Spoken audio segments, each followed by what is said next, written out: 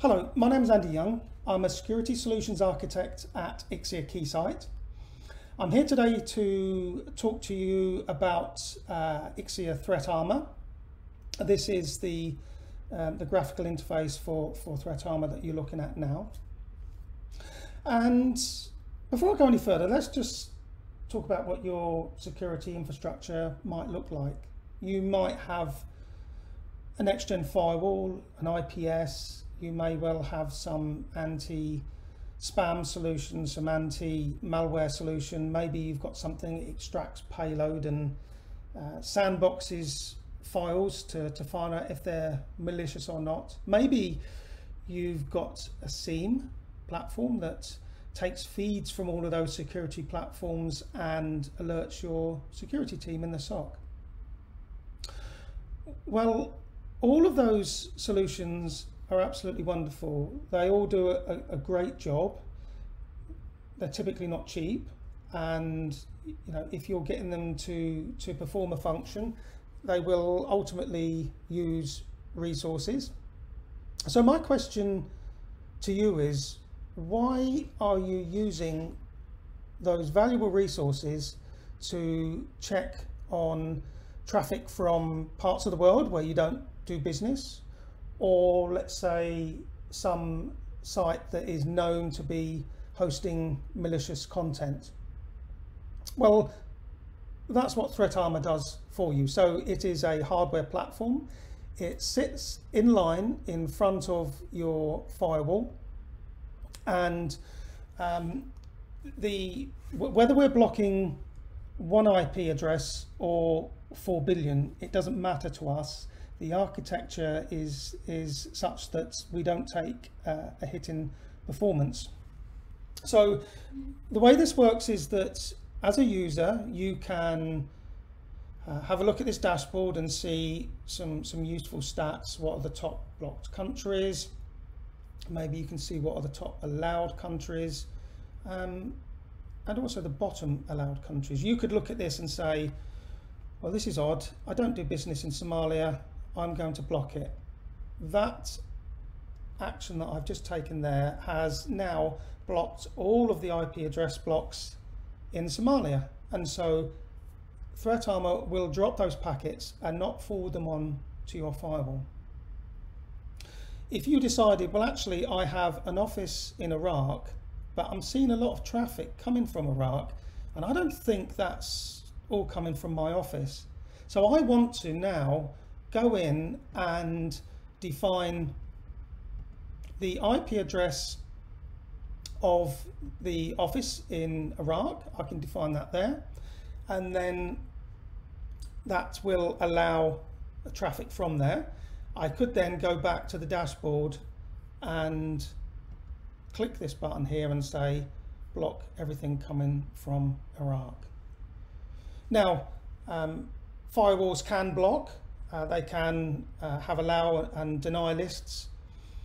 They take up resources. Uh, they typically won't be able to block, um, you know, blocking the countries sometimes quite a complex thing to do. There's lots of IP blocks. Um, uh, it doesn't matter to us, we can go in and block massive IP ranges by country as simple as that. So that's how we would block according to kind of user configuration. So, so we've decided we're not going to accept connections from these countries that we don't do business and I'm now not going to burden all of my valuable security resources um, in, in having to, to, to check from there. So that's, that's a very useful feature right now. I mentioned earlier, maybe we want to block, um, you know, according to maybe malicious activity. So, you know, what I can do is, is have a look at the last um, IP address range here. Now, if I just go here and have a look at this screen here. So what I can do is look at all of the uh, IP addresses that have been blocked. Let's have a look at this top one here. This one um, is hosted in, in Russia and we can see here that this site is uh, hosting malware. So how does this work? Well, we have an application threat intelligence team at Ixia and their role is to generate application threat intelligence um, based on you know research into what sites are hosting you know malicious content, which sites are um, you know hosting you know attacks or hosting phishing sites, etc.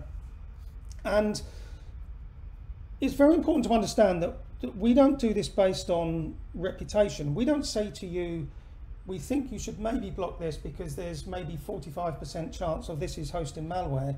We give you a rap sheet. We say to you, this uh, IP ad has, address has been blocked because it was hosting malware, this specific URL, um, and we actually scanned it um, sometime earlier uh, today.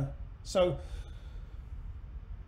again, all of the, the malware that we find being hosted on this site, we will um, alert you to. You can uh, even see here that any local IP addresses that have been accessing or, or you know attempted to to access this malicious site you know are blocked as well. So it will block outgoing to malicious sites. Now can you imagine if all of these IP addresses here actually connected to this site here that was you know, hosting malware, you then have the potential of all of these IP addresses being in, infected. So you, you, can even look at the uh, IP information here as well, and you can see all the various different dates that we've scanned. So we, we do uh, you know, DNS, reverse DNS, and we're going and looking at all of the associated host names um, to this IP address here. So that is, you know, us blocking based on what we know to be uh, a malicious site. You can actually configure those settings. So you can go in here and say, you know, well, actually, I want to have updates pushed um, you know, every five minutes or every hour. This is um, you know, totally configurable. We can see, okay, we're up to date with our application threat intelligence, and we're also up to date with our IP geolocation. As you can probably understand, you know, IP addresses can be you know, allocated to, to regions. They can then be reallocated to other regions and you would therefore need to have this information updated if you was blocking on on IP addresses. So that's a quick insight into uh, Ixia ThreatARMOR. And you know, hopefully you can see the value of having uh, ThreatARMOR sitting in front of your security infrastructure to be able to reduce the burden on that infrastructure. We're reducing the, the work that your you know, next gen firewall is, is having to do. It's now only checking um, from, from places that you do business and it's now going to have a better chance of finding uh, genuine uh, attacks coming in. And, and moreover, all of these, uh, the, these connections that, that we're blocking have meant that an alert hasn't gone through to your SIEM. So, you know, your security team that typically suffer from alert fatigue um, are going to have a much better day because of it. So that's uh, Ixia ThreatARMOR. Thanks ever so much for your time and I look forward to hearing from you soon.